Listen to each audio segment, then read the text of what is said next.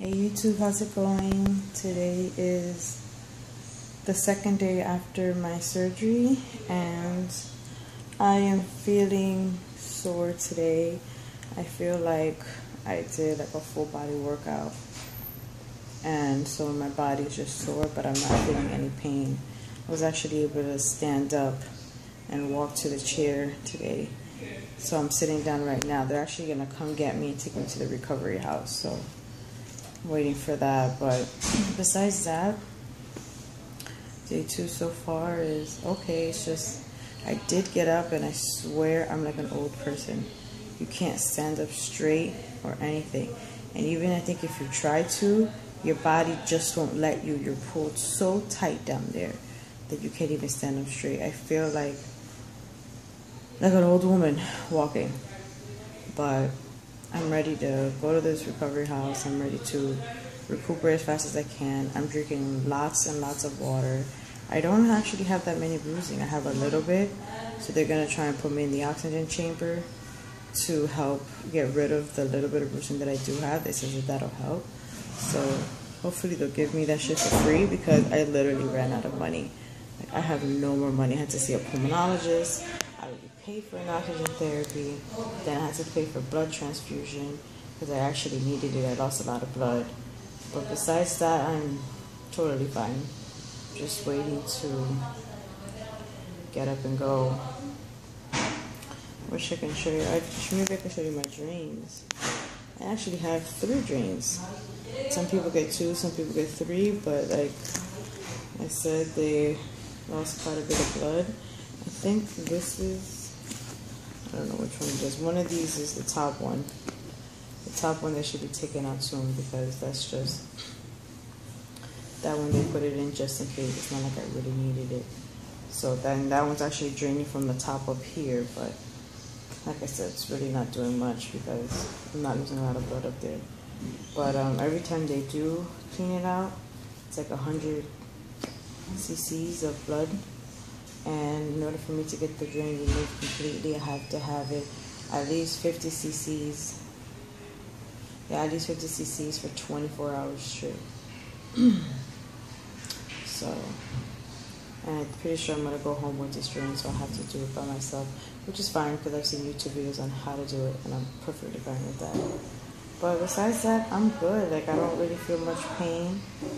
Um, I did actually tell the doctor, the doctor recommended that um, I put a little bit of fat on the bottom of my the bottom of my butt because you know I have booty, but the bottom of my butt's kind of like dwindling. so I she did do that for me, and I haven't seen what it looks like, but she said it came out well. And then she actually said she injected some in my hips, which I didn't ask for that at all. Um, she said that was extra and she just did it. So, like extra work that she did, not that I had to pay extra for it. So, I was like, all right, whatever to make me look pretty. But I feel good.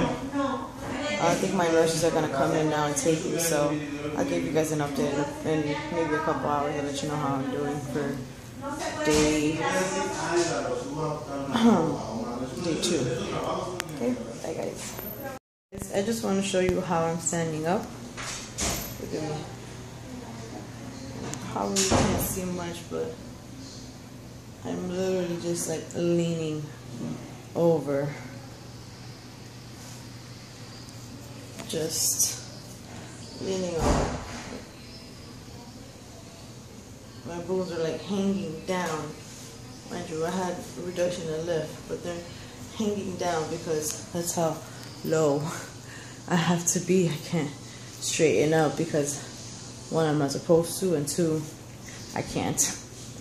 But I know it'll, it'll loosen up a little bit in a couple days, but from what I could feel from my size, they feel so much smaller. So much smaller. Let me, let me sentarme aquí. Uy. Oh wait, I said on the wrong pillow. I it sitting on a pillow, two for my back. Oh, that's a lot of work. It's funny. I have um.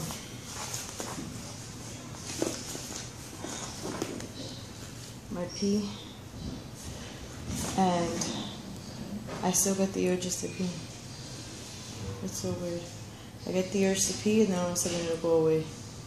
So and I'm, I'm I mean, I'm filling up my bag. I'm filling my bag up because I'm drinking so much water.